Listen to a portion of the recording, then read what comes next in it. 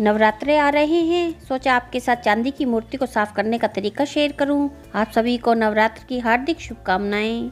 नमस्कार Nirma smart kitchen में आपका स्वागत है। ये देखिए, बिल्कुल नए जैसी चमकती हुई हमारी शेरा वाली माता की मूर्ति। ऐसा लग रहा है कि जैसे हम अभी इसे बाज़ार से लेकर आए हैं। लेकिन पहले ये माता की मूर्ति ऐसी नहीं थी। ये इस तरह दिख रही थी। देखिए, इसका कलर कितना डल सा हो गया है।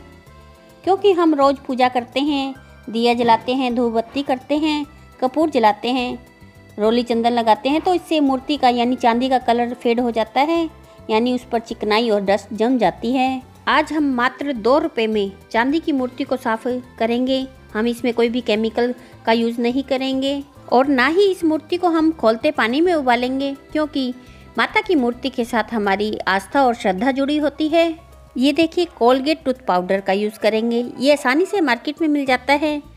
आप इसे ऑनलाइन भी परचेज कर सकते हैं।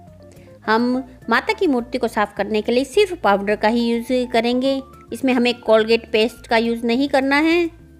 सबसे पहले माता की मूर्ति को एक थाली में रख लिया है। अब एक कटोरी में थोड़ा सा पाउडर डालें। पाउडर थोड़ा कम लग रहा है और डाल देते हैं, क्योंकि माता की मूर्ति धूप दीप की चिकनाहट से काफ़ी गंदी हो चुकी है। अब इसमें कुछ ड्रॉप्स पानी के डालकर एक पेस्ट बनाना है। अब इस पेस्ट को हम माता की मूर्ति पर लगाने के लिए एक पेंटिंग वाले ब्रश का यूज़ किया है। ये मेरे पास चौड़ा पेंटिंग का ब्रश था। आप गोल वाला ब्रश भी यूज़ कर सकते हैं। अगर ब्रश ना हो तो आप टूथपिक पर रुई लपेट कर भी उसका ब्रश बना सकते हैं। माता की मूर्ति को साफ़ करने के लिए मैं किसी और चीज़ का यूज़ नहीं कर रही हूँ। इसमें न तो मैं नींबू का यूज़ कर रही हूँ। ना ही मैंने इसमें गर्म पानी यूज़ किया है, ना ही किसी केमिकल का यूज़ किया है। सिर्फ़ एक चम्मच कोलगेट पाउडर से हम इसको मूर्ति को साफ़ करेंगे। ब्रश की हेल्प से पेस्ट इसलिए लगाते हैं ताकि मूर्ति में जो डिज़ाइन बना हुआ है बारीक बारीक धारियाँ बनी हैं, उसमें आसानी से लग जाए। हमें इस पेस्ट से माता की मूर्ति को ढक देना है। देखिए, पीछे माता के बालों को पर भी पेस्ट को अच्छी तरह लगा देते हैं। कोई भी कोना छूटना नहीं चाहिए। आगे पीछे अच्छी तरह लगाना है। अब इस पेस्ट को 10-15 मिनट सूखने के लिए छोड़ देते हैं।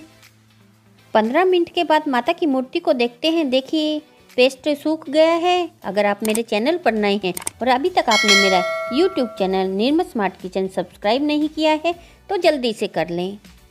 मूर्ति को साफ़ करने के लिए एक नया टूथब्रश यूज़ कर रही हूँ। पुराना टूथब्रश यूज़ ना करें। अब मैं इस ब्रश की हेल्प से रगड़ कर दिखाती हूँ। साफ़ हो रही है ना, माता की मूर्ति? हमें हल्के हाथों से रगड़ना है, क्योंकि चांदी की जो ये देखिए त्रिशूल दिख रहा है ना, बिल्कुल हल्का होता है। ज़्यादा हम रगड़ेंगे तो इसमें क्रैकेज पड़ सकते हैं, इसलिए हल्के हाथों से रगड़ें। अभी तो ये कुछ नहीं चमक रही है, बहुत अच्छे से चमकेगी, बिल्कुल बाज़ार जैसी, जैसे आप मार्केट से ख़रीद कर लाते हैं। मेरा विश्वास मानिए, कोई गलत तरीके का हैक आपके साथ नहीं शेयर करती हूँ। जो तरीके मैं घर पर यूज़ करती हूँ, वही तरीका मैं आपके साथ शेयर करती हूँ। आगे पीछे से पूरा मैंने दुर्गा माता की मूर्ति को साफ़ कर लिया है।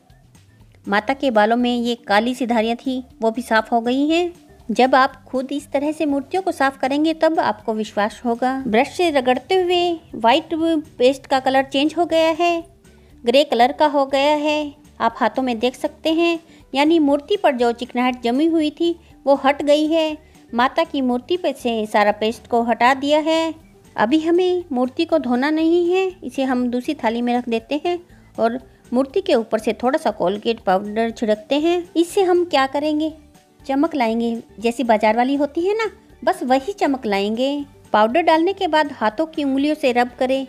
प्यार से मन में भक्ति का भाव रखते हुए हमें रब करना है कि हम अपने भगवान को चमका रहे हैं, उनको साफ़ कर रहे हैं। खुश मन से भगवान की सेवा करें तो मन का भाव बहुत इम्पोर्टेंट होता है। ये देखिए, माता की मूर्ति को हाथों से रब करते हुए चमका दिया है। आप चमक देख सकते हैं। अब मूर्ति पर साफ़ पानी डालते हैं। आप मूर्ति पर गंगा जल भी डाल सकते हैं। अब माता की मूर्ति को एक साफ़ कपड़े से पहुँच देते हैं। ये मेरे मंदिर का कपड़ा है। पानी को पहुँचना बहुत ज़रूरी होता है, क्योंकि पानी और हवा के संपर्क में आने से चांदी की मूर्ति का कलर चेंज हो जाता है। अच्छी तरह से मूर्ति पर से पानी को पहुँचना है। बिल्कुल ड्राई करना है। माता की मूर्ति को उनके सिंहासन पर बिठाते हैं। देखिए, मूर्ति चमक गई है। देखिए, मात्र दो रुपए में हमने माता की मूर्ति को साफ़ किया है। ये कोलगेट पाउडर आप घर में ला कर रखें और मिनटों में चांदी के, पूजा के बर्तन और मूर्तियाँ मिनटों में साफ़ कर सकते हैं। आपको बाज़ार से साफ़ करवाने की ज़रूरत नहीं पड़ेगी। कैसा लगा आपको ये तरीका? कमेंट करके बताएँ। उम्मीद करती हूँ आपको वीडियो पसंद आई होगी, क्योंकि मैं इस तरह की यूज़फुल वीडियो लाती रहती हूँ। वीडियो अच्छी लगे तो लाइक करें, शेयर करें, चैनल को सब्सक्राइब करना ना भूलें। मिलते हैं एक नई वीडियो के साथ। Thank you, bye bye.